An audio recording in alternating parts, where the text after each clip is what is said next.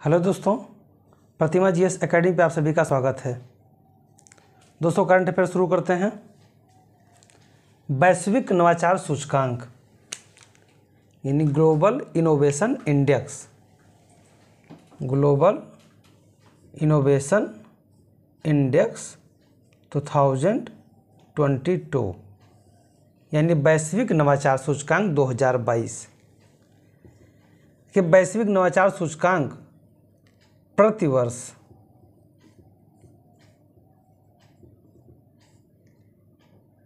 वैश्विक बौद्धिक संपदा संगठन, यानी world intellectual property index, W I P O. वैश्विक बौद्धिक संपदा संगठन के द्वारा जारी किया जाता है। यानी कि वैश्विक बौद्धिक संपदा संगठन के द्वारा वैश्विक नवाचार सूचकांक जारी किया जाता है। बौद्धिक संपदा। यानी एक ऐसी प्रॉपर्टी जो इंटेलेक्चुअल से संबंधित हो, यानी कि दक्षता से संबंधित हो। यानी कि एजुकेशन से संबंधित हो।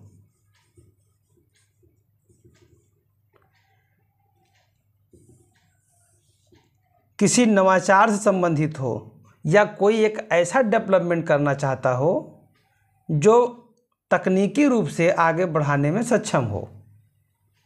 तो ऐसे वैश्विक नवाचार सूचकांक वैश्विक बौद्धिक संपदा संगठन के द्वारा जारी किया जाता है और यह प्रतिवर्ष जारी होता है। 2015 में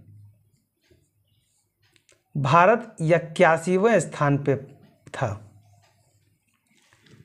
उस समय भारत की स्थिति नवाचार के रूप में इतनी अच्छी नहीं थी जितनी कि वर्तमान में है। अगर किसी भी आधार पर वैश्विक रूप हो या राष्ट्रीय स्तर पे हो, आप किसी नवाचार का या कोई इनोवेशन करना चाहते हैं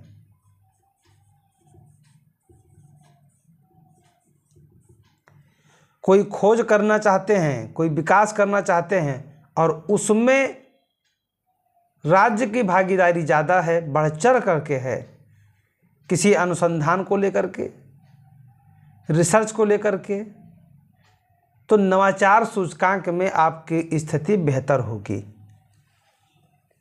2014 में भारतीय जनता पार्टी की सरकार बनी।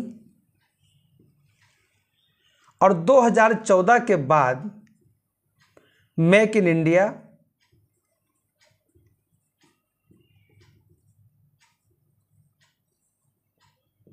make in India, startup stand up ऐसी कई तमाम प्रकार की योजनाएँ चलाई गईं। और उस योजना का परिणाम ये हुआ कि देश के विकास में तो योगदान हुआ ही हुआ साथ ही भारत ने 2015 के इक्यासीवें पायदान से 2021 में छियालीसवें पायदान पे पहुँच गया और 2022 में भारत की स्थिति चालीसवीं है। यानी कि भारत ने अपने आप को काफ़ी सुधार करते हुए वैश्विक नवाचार सूचकांक में एक अच्छी बढ़त हासिल की। विश्व के 132 देशों में, विश्व के 132 देशों में भारत ने 2022 में चालीसवां स्थान हासिल किया। यानी 2015 के बाद इकतालीस रैंक की सुधार किया भारत ने। वहीं 2021 के बाद छः रैंक का सुधार किया। भारत ने क्रमशः अपने कार्यों में योगदान देते हुए वैश्विक मंच पर अपने आप को स्थापित किया और ये दिखाया कि हमारे यहाँ नयाचार नवाचार, यानी इनोवेशन के लिए द्वार खुले हुए हैं। वैश्विक नवाचार सूचकांक 2022 वैश्विक बौद्धिक संपदा सूचकांक संपदा संगठन के द्वारा जारी किया जाता है। यह एक वार्षिक इंडेक्स है। 2022 में ये पंद्रहवा संस्करण है। इस बार भारत को 132 देशों में चालीसवां स्थान प्राप्त हुआ है।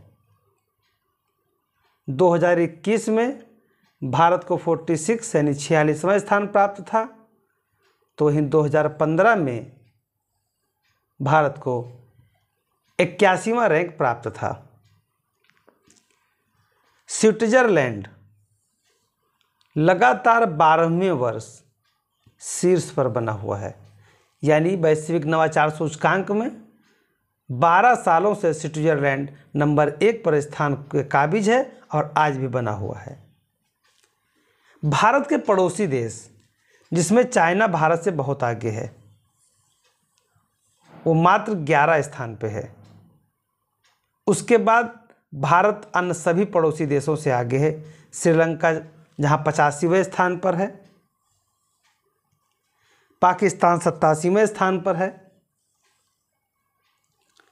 बांग्लादेश एक सौ दोवें स्थान पर है। नेपाल एक सौ ग्यारहवें स्थान पर है और म्यांमार एक स्थान पर है।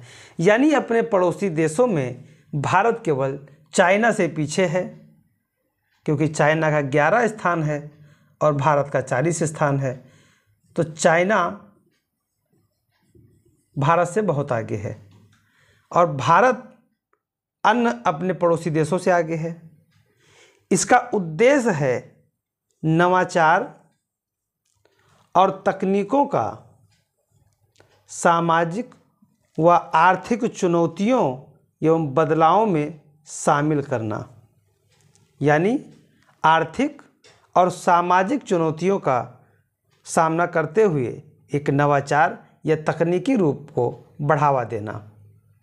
अब यहाँ से प्रश्न कैसे पूछे जाएँगे? यहाँ से प्रश्न पूछे जाएँगे कि वैश्विक नवाचार सूचकांक कौन जारी करता है? तो वैश्विक नवाचार सूचकांक, वैश्विक, बौद्धिक, संपदा, संगठन के द्वारा जारी होता है। यानी वर्ल्ड इंटेलेक्चुअल प्रॉपर्टी ऑर्गेनाइजेशन। के द्वारा जारी होता है। यह कितने सालों पे जारी किया जाता है? तो यह वार्षिक रूप से जारी होता है। 2022 में कौन सा संस्करण है? तो 2022 में पंद्रहवा संस्करण है।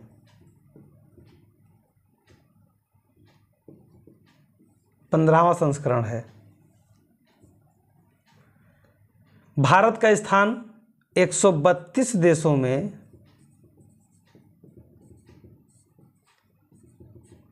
भारत का चालीसवां स्थान है। एक बात भी ध्यान रहे कि 2021 में भारत का स्थान 46 था, वहीं 2015 में भारत का स्थान इक्यासी था, जो 2022 में 40 स्थान प्राप्त हुआ है, यानी कि एक अच्छी सुधार की प्रवृत्ति दिख रही है। नंबर एक पर कौन है? शीर्ष पर। तो स्विट्जरलैंड है। और याद रहे, पिछले बारह वर्षों से यह शीर्ष पे बना हुआ है। पड़ोसी देशों में चीन का स्थान ग्यारहवा है। चीन ग्यारहवें स्थान पर है। श्रीलंका पचासीवें स्थान पर है। पाकिस्तान सत्तासीवें स्थान पर है, बांग्लादेश एक सौ दोवें स्थान पर है, नेपाल एक सौ ग्यारहवें स्थान पर है, वहीं पे म्यांमार एक सौ सोलहवें स्थान पर है। यानी चाइना, श्रीलंका, पाकिस्तान, बांग्लादेश, नेपाल और म्यांमार, जिनमें चाइना से केवल भारत पीछे है, बाकी अन्य देशों से वो आगे है। इसका उद्देश्य क्या है? इसका उद्देश्य है नवाचार तकनीकी एवं सामाजिक आर्थिक चुनौतियों का बदलाव, यानी बदलाव में शामिल करना। ध्यान रहे, जब नवाचार का सूचकांक ही है तो इसके उद्देश्य में इनोवेशन की प्रवृत्ति शामिल है। यानी कि कोई नया नवाचार करना नए नए खोज करना नए नए कार्यों को शामिल करना नई नई टेक्नोलॉजी को शामिल करना, ये इसका उद्देश्य होता है। अगला पॉइंट है, देश की तीसरी वंदे भारत एक्सप्रेस। जब भारत गुलाम था और डलहौजी यहाँ के गवर्नर थे, डलहौजी यहाँ के गवर्नर थे भारत के अट्ठारह में।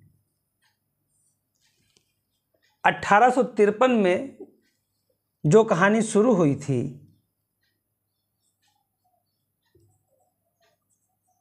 बम्बई से थाड़े के मध्य, जो ट्रेन चलाया गया था, यानी रेलगाड़ी चलाई गई थी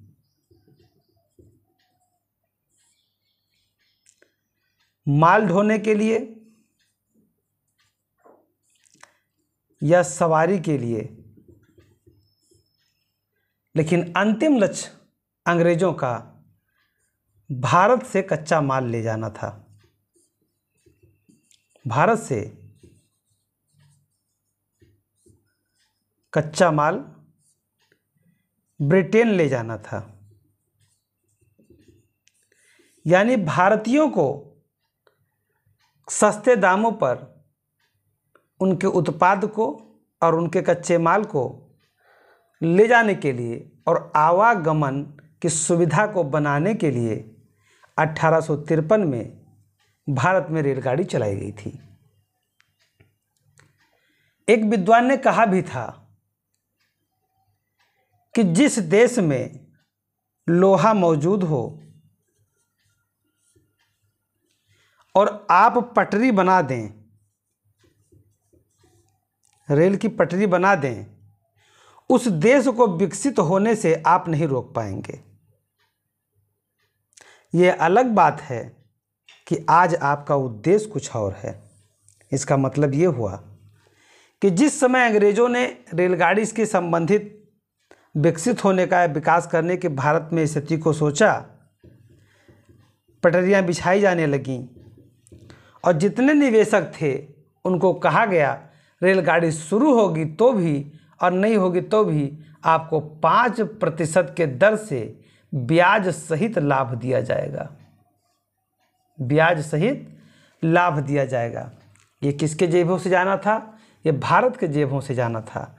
लेकिन जो न्यू अट्ठारह में रेलगाड़ी चलने की बात हुई, पड़ी बेसिक ही सही, वो कच्चे माल ले जाना चाहते थे। हम गुलाम थे, हम एक उनके उपनिवेश थे। ज़ाहिर सी बात है, हमारा शोषण करते। लेकिन आज के डेट में, उसी देश में, जहाँ पर कभी एक कच्चे माल के आवागमन की सुविधा के लिए रेलगाड़ी चलाई गई थी, त्वरित रूप से सैनिकों को पहुँचाए जाने के लिए कहीं विद्रोह हुआ हो उसको दबाने के लिए, यानी हिंदुस्तानियों पर अत्याचार करने के लिए जिस रेलगाड़ी की नींव रखी गई थी, उसी हिंदुस्तान में आज high speed train high speed train और स्वनिर्मित मेक इन इंडिया के तहत वंदे भारत एक्सप्रेस चलाए जा रहे हैं, ये हमारे देश की विद्वता कह लीजिए है, या हमारे देश की व्यवस्था कह लीजिए, जो सकारात्मक रूप से हम आज यहाँ तक पहुँच पाए हैं। हमें लूटा गया, हमें प्रताड़ित किया गया, संसाधनों को ले जाया गया, लेकिन जिसके नींव डलहौजी के समय में पड़ा था, आज विश्व के गिने चुने देशों में टॉप थ्री देशों में हम रेलवे संरचना और आवागमन के साधन में खड़े हो गया करके। यानी कि हमारे यहाँ जो ट्रेन अट्ठारह में न्यू पड़ी थी, वो आज के डेट में मेक इन इंडिया के संरचना के तहत खुद हिंदुस्तान में विकसित और दौड़ रही है। देश की तीसरे वंदे भारत एक्सप्रेस का उद्घाटन हाल ही में प्रधानमंत्री नरेंद्र मोदी जी ने किया। गुजरात में गांधीनगर टू मुंबई। गुजरात में गांधीनगर से मुंबई। गांधीनगर से मुंबई के मध्य में गांधीनगर मुंबई वंदे भारत एक्सप्रेस ट्रेन जो स्थान है, वो गुजरात का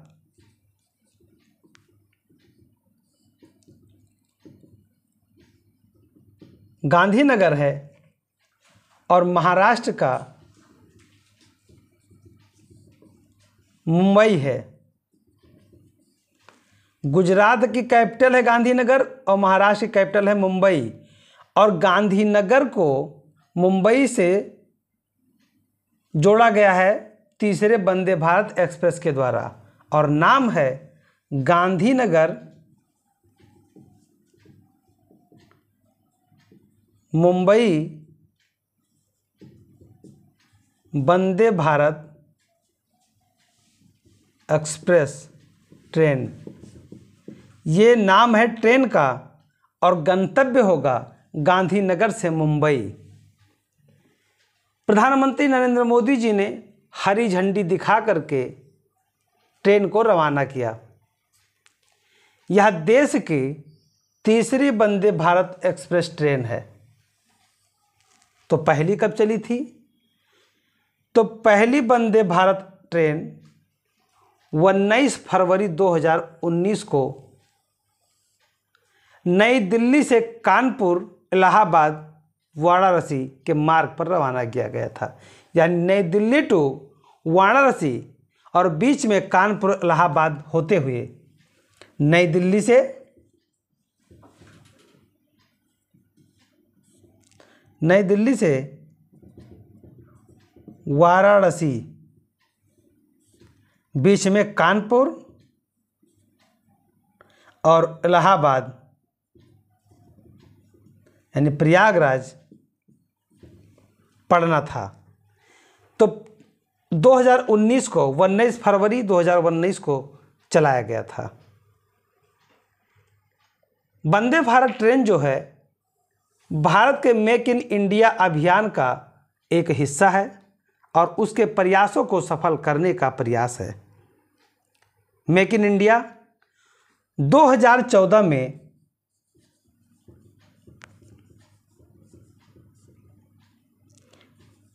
मेक इन इंडिया अभियान चलाया गया था और कहा गया था कि स्थानीय उत्पादों पे बढ़ावा दीजिए और अपने देश की समृद्धि को आधार दीजिए।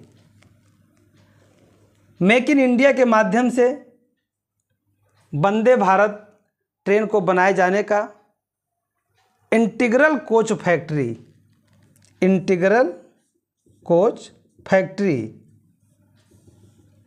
ये चेन्नई में है। चेन्नई तमिलनाडु की राजधानी है।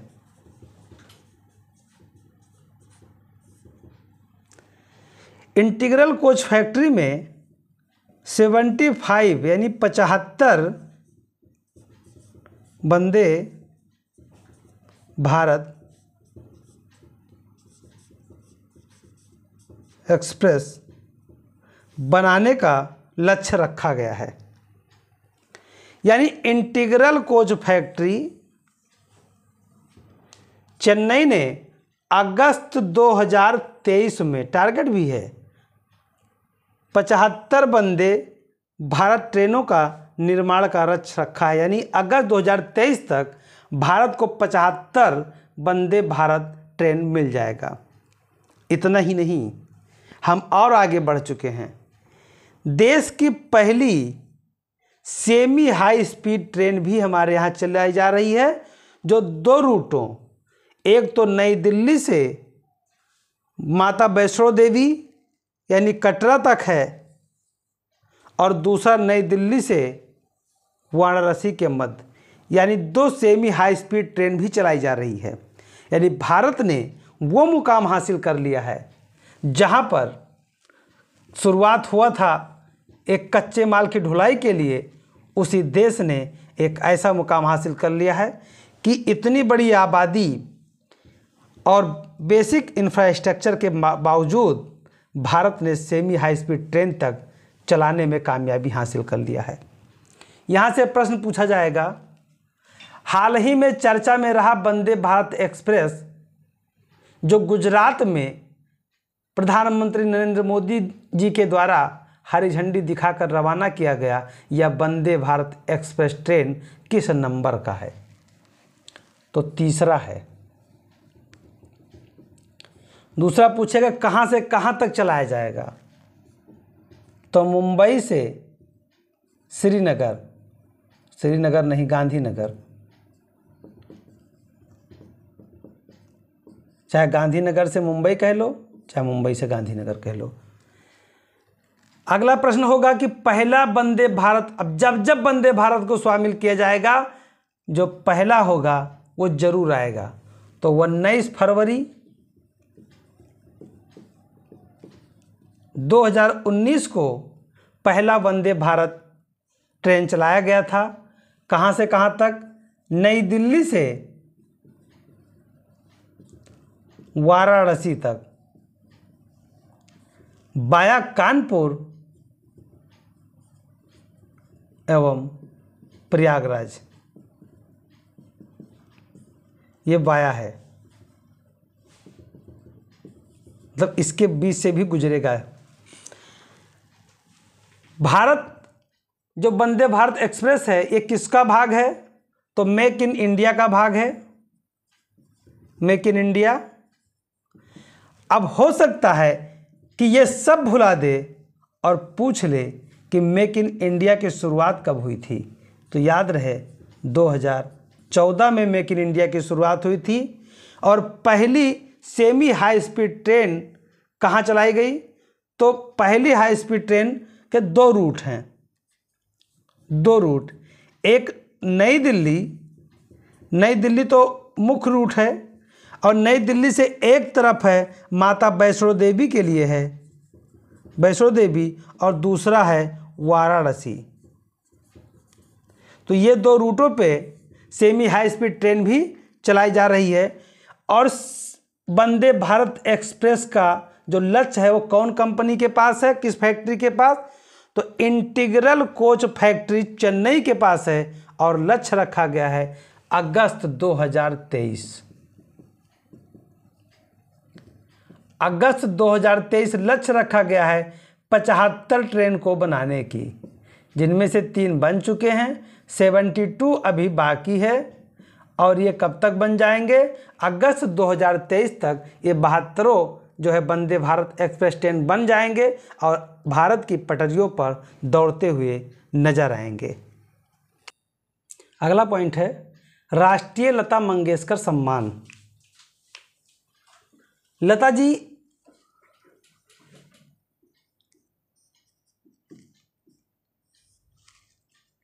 जिस जगह पर 28 सितंबर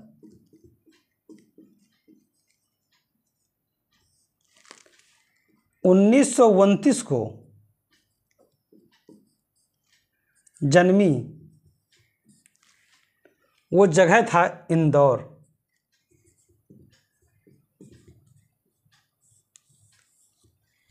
इंदौर के मिट्टी से हिंदुस्तान को हर ज़रूरत पड़। जब हिंदुस्तान बहुत संकट में था, उन्नीस सौ बासठ में, तब उन्होंने देश को जगाने में और देश के मोरालिटी जो मोराल डाउन हो गया था, चाइना के हारने के बाद तो देश के अंदर एक जुनून लाने में लता जी का बहुत बड़ा योगदान था। उन्होंने ही एक गीत गाया था, आए मेरे वतन के लोगों, जरा आँख में भर लो पानी। यानी कि एक अपनी सुरीली आवाज़ से इन्होंने हिंदुस्तान के साथ साथ वैश्विक मंच पे भी कई बार जलवे बिखेरे थे। उन्हीं लता जी के याद में राष्ट्रीय लता मंगेशकर सम्मान का आयोजन किया गया, सम्मान देना प्रारंभ किया गया। आयोजन इंदौर में हुआ। इंदौर में होने का कई मकसद था, क्योंकि लता जी को अब कई प्रकार के सम्मान दिए जाने की बात थी। जैसे, राष्ट्रीय लता मंगेशकर अलंकरण समारोह में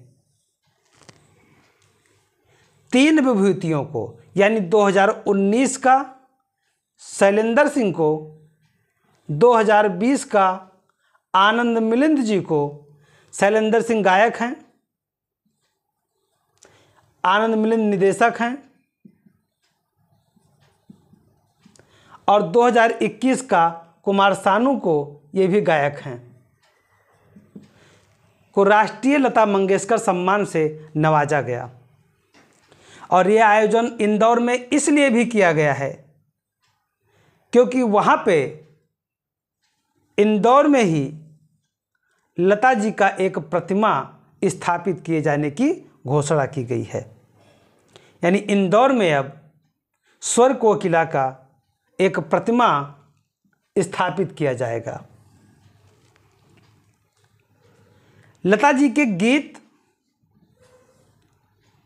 और उनकी स्मृतियों को संग्रहित कर इंदौर में एक संग्रहालय भी बनाया जाएगा। और संगीत अकादमी और संगीत महाविद्यालय भी प्रारंभ किया जाएगा। साथ ही साथ इंदौर में संगीत विद्यालय का नाम बदल करके लता मंगेशकर संगीत विद्यालय कर दिया गया है।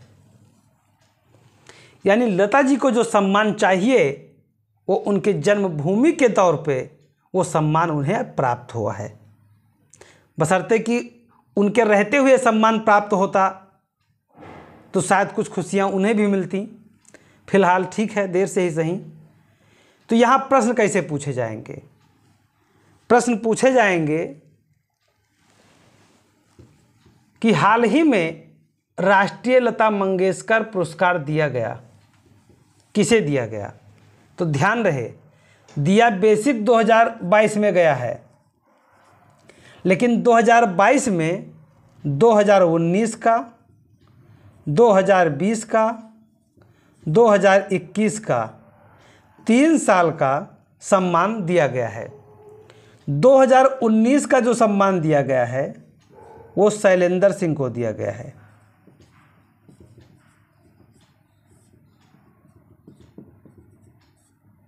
ये गायक हैं। ये गायक हैं। और 2020 का जो सम्मान दिया गया है, वो आनंद मिलिंद को दिया गया है।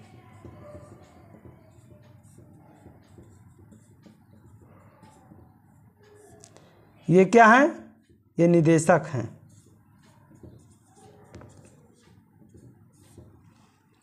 और 2021 का जो सम्मान दिया गया है वो कुमार सानू को दिया गया है। ये भी गायक हैं। और इंदौर में प्रतिमा स्थापित किया जाएगा। एक संग्रहालय बनवाया जाएगा।